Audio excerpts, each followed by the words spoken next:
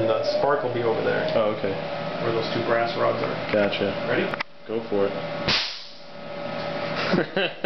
Did you get it? oh, yeah. Really? Well, I put it on a movie. Okay.